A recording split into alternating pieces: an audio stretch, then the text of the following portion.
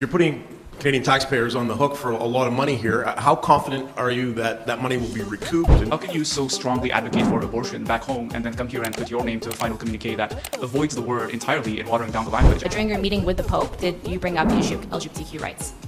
Given the accusations that you've made in the U.S. court case, has he paid any diplomatic price for this? Because it seems like he was welcomed here with open arms. Um, are there currently any MPs in your caucus that are named in the NSICOP report to be wittingly or semi-wittingly participants in foreign interference? Are you going to invite Narendra Modi to the G7 in Canada next year if he keeps denying the allegations of his government's involvement in the killing of Hardeep Singh Nijjar and the foreign interference allegations into Canadian elections? With our allies this week here in Italy, we work together to address the many different challenges our world is facing today. With wars in the Ukraine and in the Middle East, with climate, change affecting our lives, we need responsible leadership. This is what Canada is here to offer. We also discussed economic opportunities that will help all of us advance economic development and create good jobs around the world, including in Canada. Summits like these are an important moment to coordinate our efforts with friends and allies, and they matter to Canadians because security, prosperity, and stability benefit us all. On security, President Zelensky joined us here in Italy this week, and I made it clear that Canada will keep supporting Ukraine until victory. I've long advocated for new and innovative ways to support Ukraine and impose costs on Russia for its invasion. Two years ago, Canada suggested freezing Russian central bank assets. That's exactly what the G7 did. Now, to bring forward the future interest earnings from frozen Russian sovereign assets, the G7 will provide loans to Ukraine. As the G7 finalizes the delivery of the extraordinary revenue acceleration loans, Canada stands prepared to contribute $5 billion Canadian in funding. These loans would provide Ukraine with approximately $69 billion Canadian as it continues to defend its freedom, sovereignty, and territorial integrity. On top of this, Canada also announced new sanctions on 11 individuals and 16 entities who supply key technology and electrical components in support of Russia's war of aggression. And I also want to mention that we're in the process of delivering four armored medical evacuation vehicles to support Ukraine's armed forces. This is the first shipment of 50 armored combat support vehicles, all built in Canada in London, Ontario. Of course, we know that war is not only ravaging Ukraine. This week, with G7 allies, we also discussed the crisis in the Middle East. Canada is extremely concerned by the scale of the humanitarian catastrophe in Gaza. Canada has been clear on calling for an immediate ceasefire, for the release of all hostages, for significant and sustained increase in humanitarian assistance, and to an enduring end to this crisis.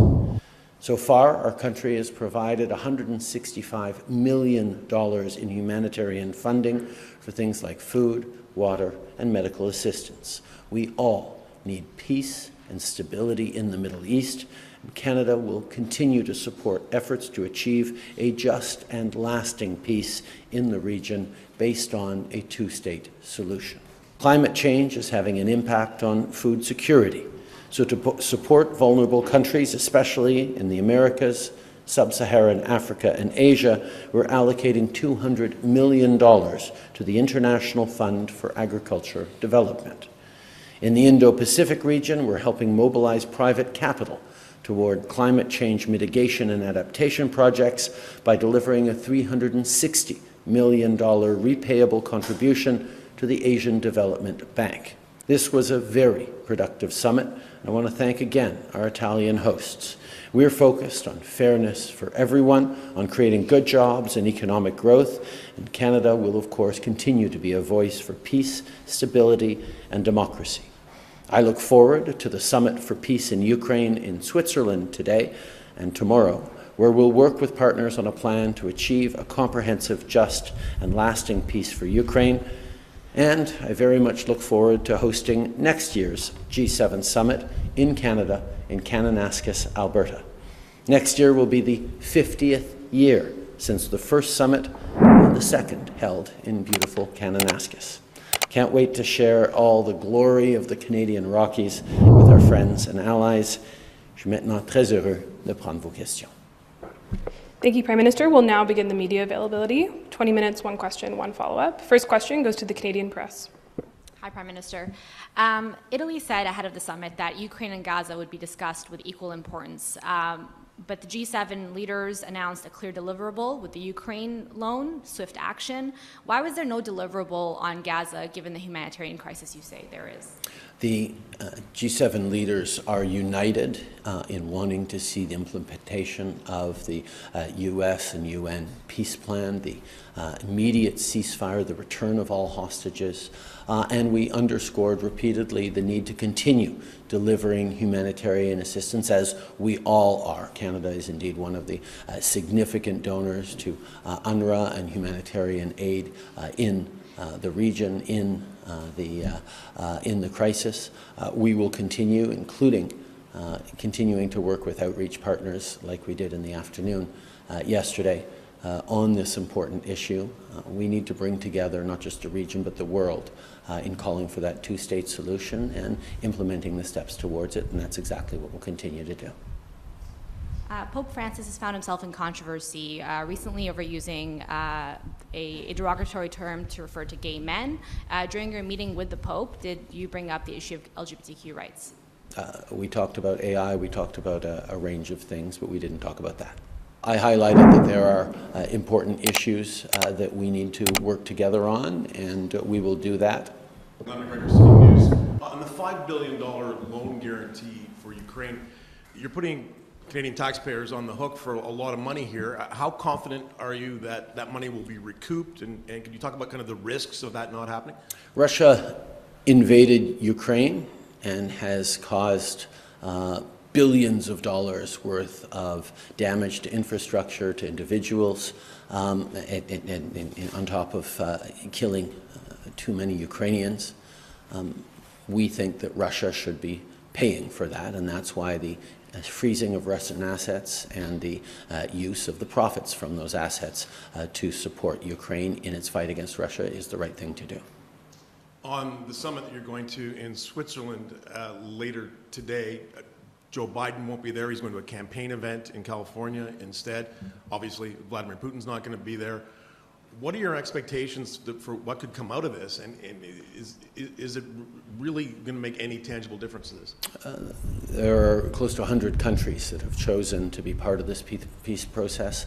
Um, we need to see peace and stability in Ukraine uh, as we need to see it around the world, and uh, this is part of the effort that we all uh, undertake to engage. Uh, going to be uh, focusing in particular on the issue of uh, children stolen from Ukraine by Russia uh, who need to be returned.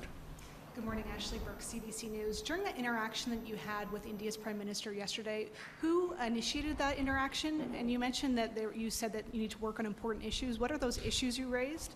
And what did Modi say in response? I think uh, you can understand I'm not going to get into the details of, of this issue. There's uh, important but sensitive issues that we need to follow up on. Um, but uh, this was a, a commitment to uh, work together uh, in the coming uh, in the coming times to uh, deal with uh, some very important issues.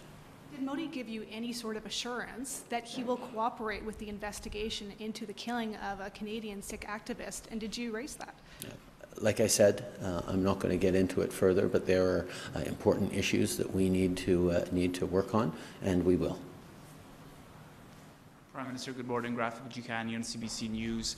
Are you going to invite Narendra Modi to the G7 in Canada next year if he keeps denying the allegations of his government's involvement in the killing of Hardeep Singh Nijjar and the foreign interference allegations into Canadian elections? I can appreciate the keenness with, it, with which Canadians are looking forward to next year's G7. Uh, however, uh, Italy continues to be the president of this G7 for the rest of this year, uh, and I look forward to working with Prime Minister Meloni and all my G7 partners on, uh, on the broad range of issues that we've talked about. I will have more to say about next year's G7 uh, when we assume the presidency next year. Okay, and speaking of Italy, how can you so strongly advocate for abortion back home and then come here and put your name to a final communique that avoids the word entirely in watering down the language? And will you raise this with Giorgia Meloni in your upcoming bilateral meeting? There are clear commitments in the communique to uh, defending sexual and reproductive rights. Uh, there, uh, there is important work that we're going to continue to do. Obviously, this matters uh, deeply to Canada and Canadians, and we will continue uh, to defend uh, sexual health and reproductive rights, as well as women's rights, as well as LGBT rights uh, everywhere necessary. Prime Minister Brian Platt with Bloomberg. Um, Prime Minister Modi was invited here. He played a pretty prominent role yesterday. He was center stage in the family photo. Given the accusations that you've made in the U.S. court case, has he paid any diplomatic price for this? Because it seems like he was welcomed here with open arms.